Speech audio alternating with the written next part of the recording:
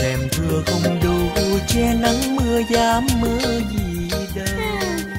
Và còn phải nhớ mua gia vị nữa đấy nhé. Cá tươi, thịt béo mà thiếu gia vị Thì chẳng khác nào chém to kho mặn. Món ăn còn gì là hương vị nữa.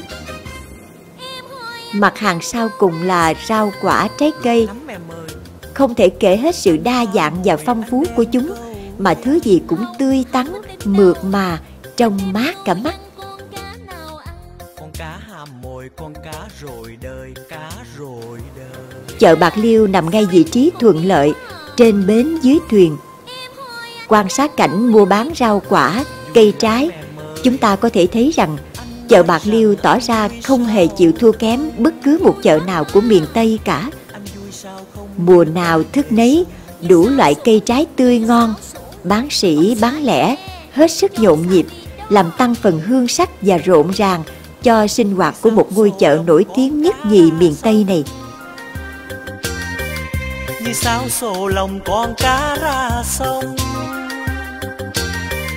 Như sao sổ lòng con cá ra sông.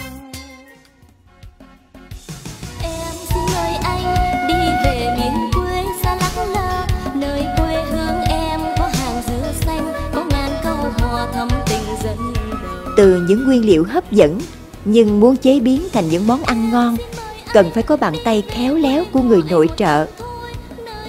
Chúng ta hãy theo dõi quy trình chế biến một vài món ăn ưa thích của người bạc liêu để thấy rằng nấu ăn ngon cũng là một nghệ thuật khá phức tạp và cao siêu.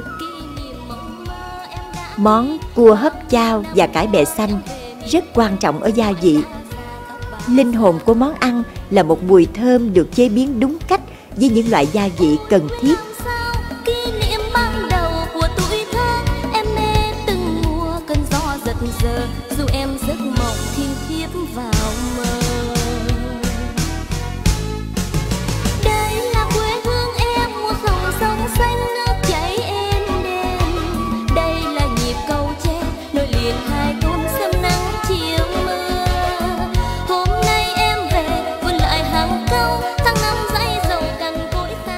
Món cua lăng bột chiên bơ thì cần giòn tan khi ăn.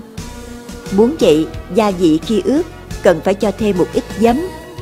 Khi chiên, dầu phải sôi, nóng đều.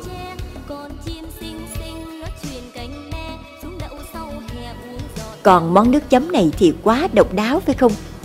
Gạch cua được hấp chín giả nhuyễn, trộn đều vào nước mắm, chanh, ớt, đường, tỏi.